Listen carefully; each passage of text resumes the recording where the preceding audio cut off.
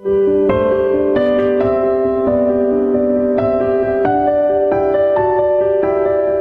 22 yaşlı Ağdaş rayon sakini Ülkər Həmidova anadan gəlmə ürək qüsuru ilə doğulub, lakin əməliyyat olunanadək xəstəliyi barədə heç bir məlumat olmayıb. Hamiləlik dövründə icbari tibbi sığorta çərçivəsində müayinələrdən keçən zaman xəstəyə anadan gəlmə ürək qüsuru diaqnozu qoyulub. Dövlət agentliyi bizi bura göndərdi. Çox, sağ olsunlar. Burada gəlir Seymur həkim, ona da minnətdaram. Anar həkim, ginekoloq, İslam həkim hamısının e, olan səyi çox oldu bu işdə. Əməliyyat oldum. Şükür indi çox yaxşıyam. Burada göstərilən bütün xidmətlər bizə heç bir pul ödəmədik.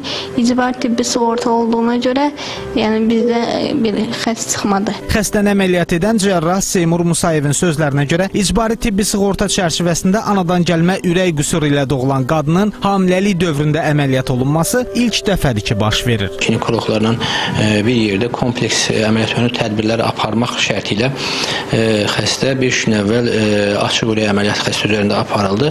Qulaqçılar çəpər defekt bağlandı. Anormal pulmonar venöz dönüş anomaliyası aradan qaldırıldı.